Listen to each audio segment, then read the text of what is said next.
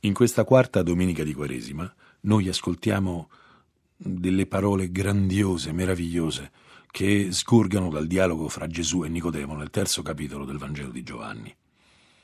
Ma l'introduzione nella parola di Dio a questo Vangelo è data da un eh, testo eh, del secondo libro delle cronache, notare che stiamo parlando dell'ultimo libro nel canone ebraico, cioè quando si prende una Bibbia ebraica, questo è l'ultimo libro che si trova e queste sono le parole, grosso modo, con cui finisce l'Antico Testamento. È la storia dei due momenti che iniziano e terminano l'unico evento terribile, dolorosissimo dell'esilio. Non comprendiamo noi la struttura della Sacra Scrittura, dell'Antico Testamento e un po' tutta la mentalità che soggiace a quella realtà che contiene la promessa del Messia, se non capiamo il codice, la categoria dell'esilio. Che cosa è l'esilio?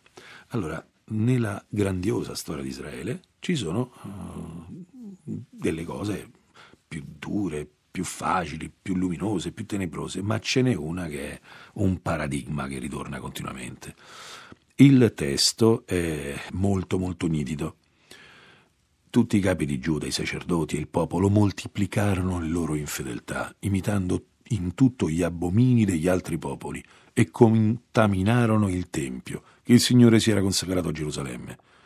Il Signore mandò poi rumorosamente, incessantemente i suoi messaggeri ad ammonirli, perché aveva compassione del suo popolo, ma essi si beffarono dei messaggeri di Dio, al punto che l'ira del Signore contro il suo popolo raggiunse il culmine senza più rimedio. Quindi i suoi nemici incendiarono il Tempio del Signore, demolirono le mura di Gerusalemme e il re dei Caldei deportò a Babilonia gli scampati alla spada e divennero suoi schiavi.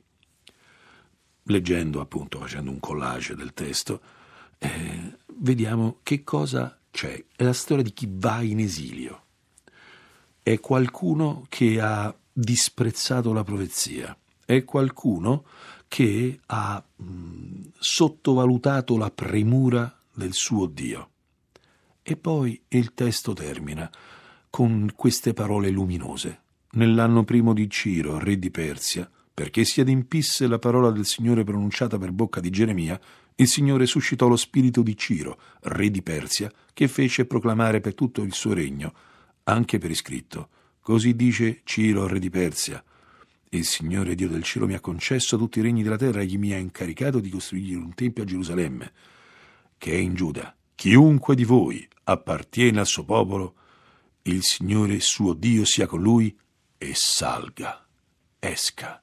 È il ritorno dall'esilio. Allora c'è un popolo che va in esilio e un popolo che torna dall'esilio per generosa provvidenza di Dio. Ecco, nel Vangelo noi abbiamo questa offerta. Cos'è che manda in esilio il popolo di Israele? Il disprezzare la premura di Dio. Che cos'è che lo fa tornare dall'esilio? La premura di Dio questa volta hanno imparato a prenderla sul serio. Nel tempo dell'esilio il popolo in quei settant'anni maturò molto, imparò la lezione. Abbiamo molte cose importanti legate un pochino a tutto ciò che è nella scrittura, proprio in questo tempo di correzione e di dolore.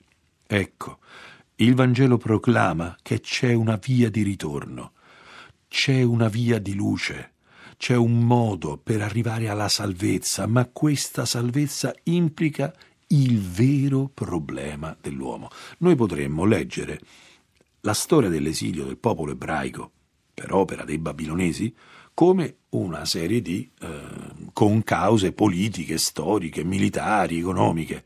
No, la scrittura dice il problema era disprezzare la benevolenza di Dio. Il Vangelo dice Dio ha tanto amato il mondo da dare il figlio unigenito perché chiunque crede in lui non muoia, ma abbia la vita eterna, non vada perduto. Perché Dio non ha mandato il figlio nel mondo per condannare il mondo, ma perché il mondo sia salvato.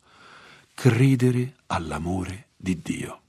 Credere che Dio ci vuole salvare. Credere alla sua benevolenza. È questo che ci fa tornare dal nostro esilio, è questo che ci fa tornare nella pienezza. Cosa è la nostra condanna? Questo o quel fatto, questa o quella tragedia, questo o quel dolore? No, il non credere che Dio ci voglia bene, il non credere nella sua luce, l'amare la rabbia, l'essere affezionati alla lamentela, alla tenebra, al rifiuto e non accogliere la tenerezza di Dio. Credere in ogni fatto, che Dio ci stia salvando, credere in ogni evento della nostra vita che Dio non si è dimenticato di noi e che Lui è amore e che ci tratta come suoi bimbi prediletti, come suoi figli e che nel figlio ci ha mostrato il suo volto, è la chiave di ogni nostra sfida spirituale. Credere all'amore di Dio, credere alla sua bontà è il problema noi crediamo di avere mille problemi, ma quello che veramente decide della nostra felicità è se finalmente ci apriamo alla sua tenerezza.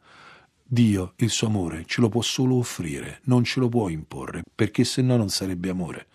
Dio, il suo amore, ce lo può solamente regalare, ma noi, come possiamo fare con un regalo, possiamo anche non scartarlo questo regalo. Chissà quanti libri ci hanno regalato che non abbiamo manco aperto. E così anche l'amore di Dio può essere una cosa che non apriamo nemmeno, perché amiamo di più la nostra autogestione. Ecco, in questa domenica si proclama l'offerta poderosa, generosa, incondizionata di Dio di salvezza. Il Signore Gesù annunzia il volto di Dio, si svela nel Signore Gesù che nessuno di noi può ritenersi estraneo alla salvezza. Tutti si possono salvare, perché tutti sono amati, ma noi possiamo dire di no. Ecco, è veramente serio accogliere questo, questo richiamo bello. Dio in questo Vangelo, un po' come un supplicante, ci chiede accoglimi, credimi, lasciati amare.